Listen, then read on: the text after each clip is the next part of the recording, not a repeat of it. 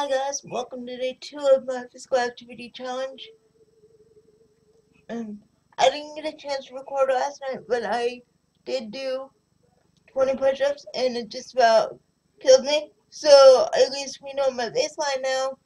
Um, I haven't done anything as of yet for today, but I plan on finding something to do. I'm thinking out getting a TheraBand and putting it on the wall. And if we can do that, then I will record that because it'll be just on my door, which is behind my head, so you should be able to see that fairly easily. Um, and because of my disability, I have trouble thinking of like physical activities to do. So if you guys have any suggestions, I'd be more than happy to take them.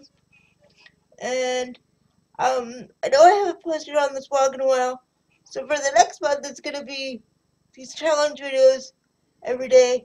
But um, I'm also planning on doing like video diary type things of just like stuff I think about on a daily basis because I really suck at doing a journal. So I figured if I do it in video format, I'm more likely to do it.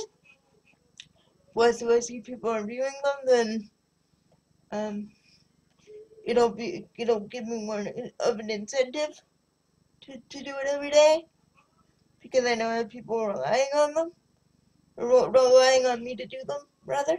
So this is my first one. I haven't done videos in a while, so I'm sort of the editing on this is a little crappy. I do plan to sort of mess around with it today and um and see I'll work on my editing skills.